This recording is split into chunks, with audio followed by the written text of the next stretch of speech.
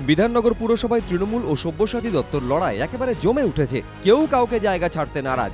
একদিকে সব্যসাচীর বিরুদ্ধে অনাস্থা এনেছে তৃণমূল অন্যদিকে সব্যসাচী পথ ছাড়তে নারাজ। ফলে বিধাননগরের ভাগ্য আপাতত নির্ভর করছে ভোটাভুটির ওপর।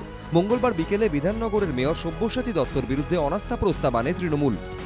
মেয়রের বিরুদ্ধে কাউন্সিলররা অনাস্থা এনেছে। পঁয়ত্রিশ জন জমা কর- দিয়েছে। আঠেরো তারিখে দুটোর সময় আমরা কমিশনারের কাছে স্পেশাল যে বোর্ড মিটিং সেটার জন্য অ্যাপিল করেছি।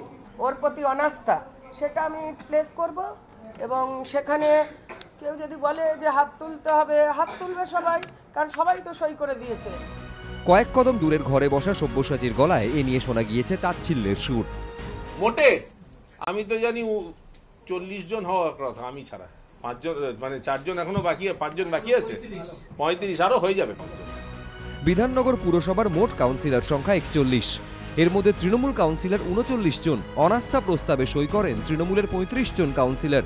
নিয়ম অনুযায়ী অনাস্থা প্রস্তাব আনতে মোট কাউন্সিলরের এক তৃতীয়াংশের সই করা চিঠি দিতে হয়। এক্ষেত্রে একচল্লিশ জন কাউন্সিলরের এক তৃতীয়াংশ, অর্থাৎ চোদ্দ জনের সই প্রয়োজন।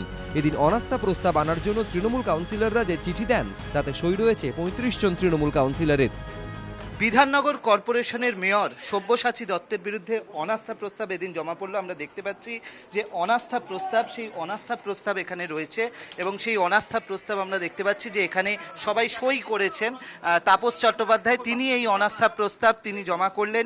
চেয়ারপারসন কৃষ্ণা চক্রবর্তীর কাছে আমাকে জমা দিয়েছে, আমি এটা দেখলাম এবং দেখে আমি এটা কমিশনারকে ডেট দেব।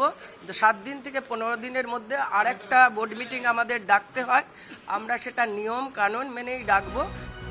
আপাতত অনাস্থা আনার চিঠিতে সইয়ের সংখ্যা দেখে যা বোঝা যাচ্ছে তাতে ম্যাজিক ফিগারের থেকে অনেক বেশি সংখ্যক তৃণমূল কাউন্সিলরের সমর্থন রয়েছে তৃণমূলের দিকে।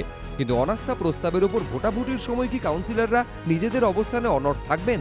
নাকি ভোটাভুটিতে কোনো চমক দেখা যাবে? প্রশ্নগুলো উঠছে কারণ অনাস্থায় বিন্দুমাত্র বিচলিত না হয়ে লাগাতার ইঙ্গিতপূর্ণ মন্তব্য করে চলেছেন সব্যসাচী দত্ত।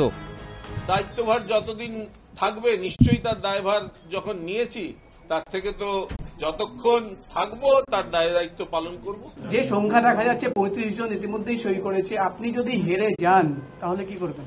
দেখুন না কি হয়। মঙ্গলবারও তৃণমূলের অনাস্থা প্রসঙ্গে একইভাবে ইঙ্গিতপূর্ণ মন্তব্য করেছিলেন সব্যসাচী। আগে আগে দেখিয়ে হতা হ্যায় কে? সব মিলিয়ে আপাতত সকলের নজর আঠেরো তারিখ ভোটাভুটির দিকে।